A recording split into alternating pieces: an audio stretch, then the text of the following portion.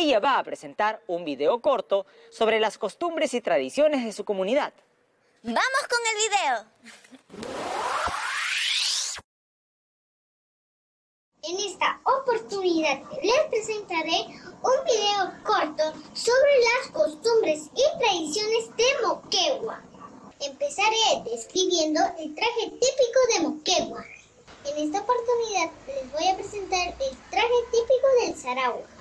Las mujeres llevan montera, guirlia, faja, corpiño, blusa y pollera. Mi abuelito Fidel me dijo que las mujeres solteras llevaban flores en su montera, pero las mujeres casadas no llevan flores en su montera. Igual es los sombreros. Y ahora les voy a hablar de las danzas. Los poles, el zarauja y los negros. A mí me encanta bailar el zarauja y, y ponerme su hermosa vestimenta. Y eh, también estoy aprendiendo a bailar el zarauja. Ahora les contaré sobre los platos típicos, el cuy y el caldo de chochoca. Pero el que más me gusta es la pilahuaquía. Ahora conozco más sobre, sobre Moquegua, costumbres y tradiciones, porque mi abuelito me cuenta historias bonitas. Me gustaría contarles más, pero eso será otro día. Gracias amiguitos por escucharme. Nos vemos. ¡Chao! Hola amiguitos de Aprendo en Casa. Mi nombre es Joana Rojas y vivo en la ciudad de Lima. Les voy a presentar mi galería de costumbres y tradiciones familiares de Huancayo.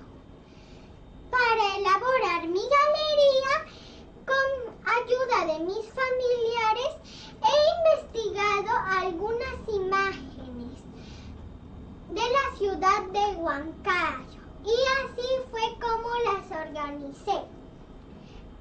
los lugares turísticos está el Cerrito de la Libertad. También tenemos el Parque de la Identidad Huanca y por último está el Bosque de Piedras de Torre Torre. Esos son algunos lugares turísticos. En las comidas típicas tenemos el patache. Si yo voy a comer esa comida por las mañanas, me muy bien. También la papa la huancallina, con su aderecito molido en, en batán y su papita queda riquísimo. También tenemos el picante de cuy y no nos, se nos puede olvidar la pachamanca, cocinada con piedras calientes y está hecha debajo de la tierra. En los mitos o leyendas tenemos la leyenda de la laguna de Pata y el tesoro de Catalina Huanca, que todos han querido buscar los tesoros y jamás los han encontrado. También tenemos la artesanía y tejidos. Están los mates burilados hechos a mano.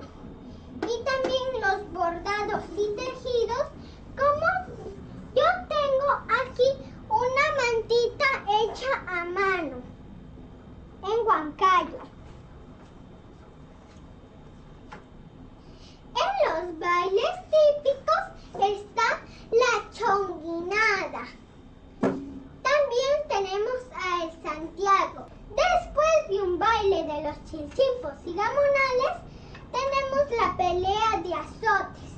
Para el próximo año